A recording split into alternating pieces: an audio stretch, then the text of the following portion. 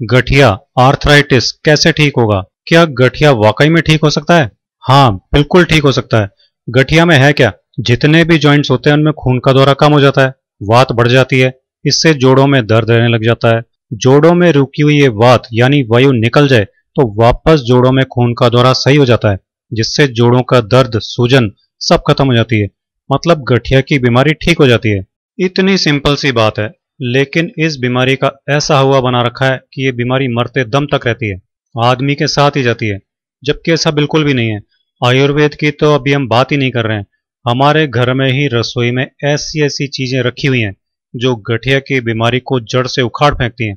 लेकिन हमको इनका पता ही नहीं है ना। हम इन चीज़ों से अनजान हैं, इसलिए ऐसी बीमारियों को ज़िंदगी भर भुगतते रहते हैं। तो अगर आप वाकई में अपनी गठिया की बीमारी को ठीक करना चाहते हैं, जड़ से खत्म करना चाहते हैं तो इस वीडियो में मैं शुरू से आखिरी तक जो कुछ भी बताने जा रहा हूँ, उसको ध्यान से सुनिए और एज इट इज़ फॉलो कर लीजिए। आपकी गठिया की बीमारी पूरी तरह से ठीक हो जाएगी। नमस्ते, मैं हूँ सचिन गोयल और आपका स्वागत करता हूँ ई कुंजी चैनल पर। अब ये होगा कैसे?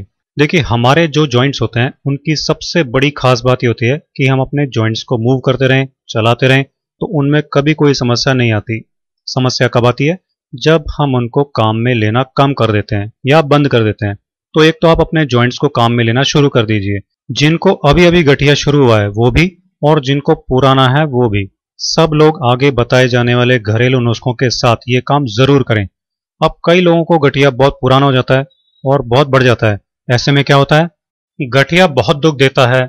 यहाँ तक कि जॉइंट में बड़ी बड़ी गांठें हो जाती हैं। उनके कारण बहुत ज़्यादा तकलीफ़ होती है। कोई भी काम ठीक से नहीं कर पाते हैं और बहुत ही ज़्यादा ये दर्दनाक होता है। तो इससे राहत पाने के लिए आपको यहाँ पर मैं कुछ घरेलू उपाय बता रहा हूँ। आपको क्या करना है? नुस्खे के लिए लेना है एप्पल साइडर विनेगर, यानी सेब का सिरका। सेब का सिरका जो होता है, वो गठिया के रोगियों के लिए बेहद ही रामबाण होता है। गठिया क्यों होता है? जब हमारे शरीर में यूरिक एसिड की मात्रा बढ़ जाती है तो गठिया की समस्या होती है। और एप्पल साइडर विनेगर आपके शरीर में बढ़े हुए यूरिक एसिड की मात्रा को कम कर देता है। इससे आपको गठिया में बेहद ही राहत मिलती है। बहुत ज़्यादा फ़ायदा मिलता है। ये लेना किस तरीके से है आपको? बिल्कुल साधारण तरीका है इसका। आपको एक गिलास हल्का गर्म पानी ले लेना है। पानी आपको ना तो ठंडा लेना है और ना ही बहुत ज़्यादा गर्म लेना है। पीने लायक हल्का गर्म पानी होना चाहिए। बस इतना काफ़ी है। इस एक गिलास पानी के अंदर आपको दो चम्मच कम से कम दो चम्मच एप्पल साइडर विनेगर आपको डाल लेना है। शुरुआत आप एक चम्मच से करेंगे और तीन चार दिन लेने के बाद में आप इसकी मात्रा बढ़ाकर दो चम्मच कर देंगे। यह आपको डेली सुबह खाली पेट इस तरीके से हल्के गर्म पानी में मिक्स करके पीना है। चाय वगैरह पीते हैं, वो कुछ भी ना पिए। आप इसे फ्रेश होने के बाद में ब्रश करने के बाद में खाली पेट ले लें। लेकिन इसको पीते समय आपको कुछ बातों का ध्यान रखना है। जब भी आप पानी के अंदर एप्पल साइडर विनेगर मिक्स कर लेंगे तो आप इसे ऐसे ही उठाकर ना पिए, क्योंकि एप्पल साइडर विनेगर जो है, ये आपके दांतों के लिए हानिकारक होता है। जो दांतों की सफ़ेद परत होती है, उसको ये पीला कर देता है। इसलिए आपको इसको पीते समय सावधानी रखनी है। बनाना इसी तरीके से है, लेकिन इसको स्ट्रॉ से पीना है। बाज़ार में आपको स्ट्रॉ मिल जाएँगी, उसकी सहायता से आपको इसे पीना है। इसके बाद में दूसरी चीज़ मैं आपको यहाँ पर बता रहा हूँ। कि जो लहसुन होता है, ये भी गठिया के मरीज़ के लिए बेहद ही फ़ायदेमंद होता है।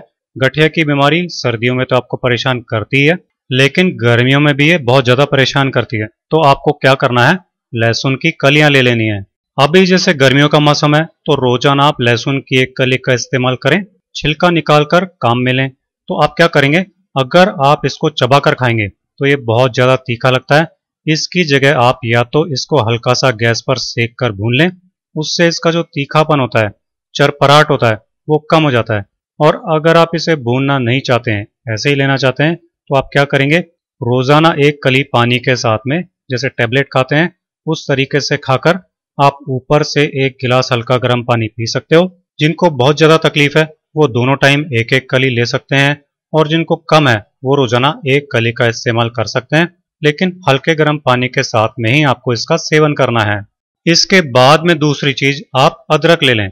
अदरक का इस्तेमाल आप ज़्यादा से ज़्यादा करें, सब्ज़ी बनाने में करें, दाल वगैरह में डालें, अदरक की चाय पिए। अदरक जो होती है, वो आपको बहुत सारे फ़ायदे देती है। ऐसा नहीं है कि आप गर्मियों में अदरक का इस्तेमाल नहीं कर सकते, नहीं। ये आपके पेट के लिए बेहतरीन होती है। पेट में जो गर्मी होती है, उसको ये दबाती है, उसको ये खत्म करती है। ये शरीर में बिगड़ी हुई वायु को बैलेंस करती है, जिससे गठिया में ज़बरदस्त फ़ायदा मिलता है।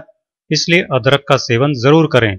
इसके बाद में हमारे पास अगली चीज़ है यहाँ पर दालचीनी। इंग्लिश में इसको सिनेमन भी कहते हैं। ये घर में मसालों में काम आती है।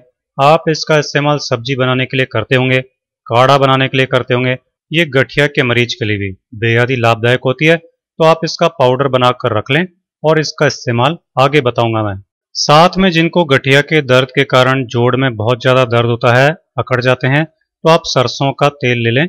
आप चाहें तो इसमें कुछ लहसुन की कलियाँ डालकर पका सकते हैं, लेकिन नहीं पकाना चाहते हैं अभी गर्मियों में तो आप तेल को हल्का सा गर्म कर लें और उसके बाद में जितने भी आपके जॉइंट दुख रहे हैं, उन पर मसाज ज़रूर करें।